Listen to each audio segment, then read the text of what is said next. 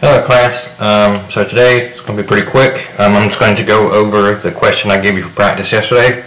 Um, I'll give you the solutions to that. Um, if you still have questions on that and you want some clarification, um, just message me on Teams. Um, your mastery assignment for today is posted as an attachment, so it's not in the video today. So just make sure you look at the attachments.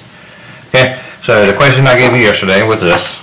Diagram shows the curve and a line which intersect, find the area between the shaded regions. Okay, so the example that I did yesterday, so this was the example I did. So I did the curve, I integrated the curve minus the integration of the line. Exactly what you had to do, but yours was opposite.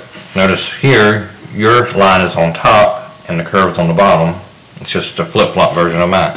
So what you should have done was the integration of the line minus the integration of the curve, evaluated at 1 to 7. Okay? So you should set up like that. Okay, you can simplify that. Distribute this negative. That's why it's important to set it up this way. The top minus the bottom.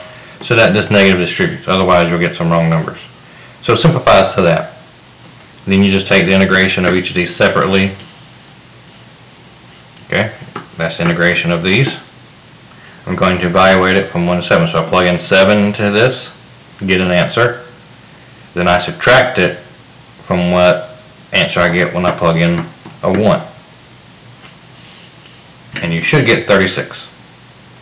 Okay, if you round it, whatever. So it should be 36. Okay, so hopefully um, you got all that correct. If not, message me on Teams so I can go through it. Otherwise, um, get started on the mastery for today. And make sure to check out the PowerPoint. Okay? Thanks guys. Have a good day.